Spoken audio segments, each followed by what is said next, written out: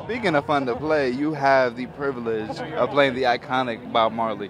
Now, talk to me about that. Have you had conversations with his family about getting, you know, insight and stories? Oh, they were there every day. I saw Ziggy every day on set. Yeah, I met Ziggy. I met Ziggy really early on before I got the job, or maybe just after I got the job. Welcome back to the channel. Jamaican broadcaster and university lecturer Faye Ellington asserts that British actor Kingsley Ben-Adir was the perfect choice for the lead role in the Bob Marley One Love biopic. She contends that, at this time, there's no Jamaican actor better suited for the role. Ellington, who also served as Ben-Adir's dialect coach during filming, expressed her perspective in an interview with Dionne Jackson Miller on television.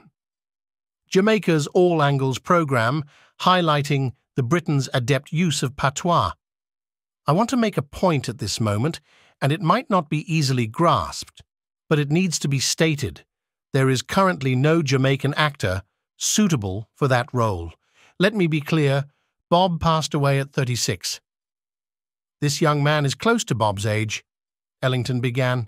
Then people question, why couldn't one of his sons or grandsons take on the role? The producers of this movie, Rita Marley, Cedella Marley, Ziggy Marley, are well aware of their family members' capabilities and limitations, having discussed it within the industry. She added, Ellington continued, stating, Secondly, there's a factor called having a recognizable name in the industry to enhance the film's marketability. Since it's a biopic, a close resemblance, and someone familiar with the industry's demands, such as enduring multiple takes or revisiting scenes months later, is crucial. My life is not important to me. Are you satisfied?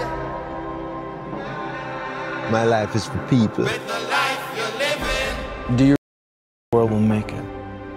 Yes. There's no other way. That's the source of your strength. We know where we're from.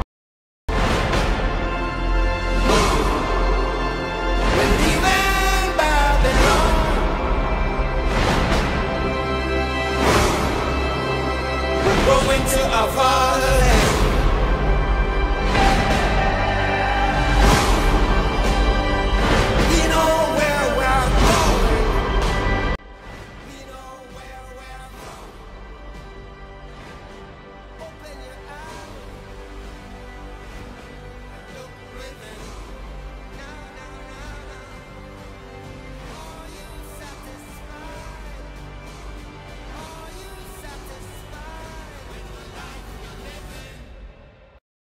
One heart, one destiny.